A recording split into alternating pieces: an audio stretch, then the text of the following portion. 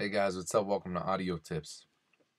Uh, in today's tutorial, we're going to basically go into Logic Pro. I'm going to open up my audio effects. Uh, we're going to go in and we're going to open up a Waves plugin called the PuigTec EQ P1A. Uh, this is a great, great uh, EQ. Um, I'm going to go in. I'm going to show you guys how uh, how it works. Well, basically show you guys a little bit uh, more about the plugin. Later on in my future videos, I'm going to go in and show you guys where I put this into a song and how I mix with it uh, to give you guys a brighter idea on how to get the best optimum results out of it. But for right now, I'm just going to go ahead and open it up. We're going to go into audio effects, down to audio units, down to waves.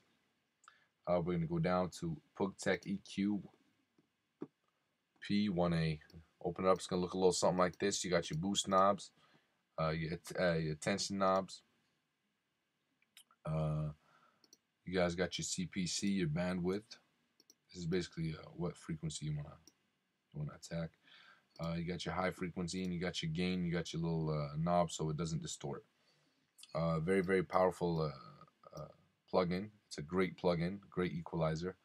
Um, I usually put it on like hip hop instrumentals to really give it a bang or, or give it some brightness. But this is basically it. I hope you guys enjoyed the video. I hope you guys learned something new. And uh, stay tuned for a later video where I show you guys actually how to use this to your benefit. Thank you guys for watching and please subscribe.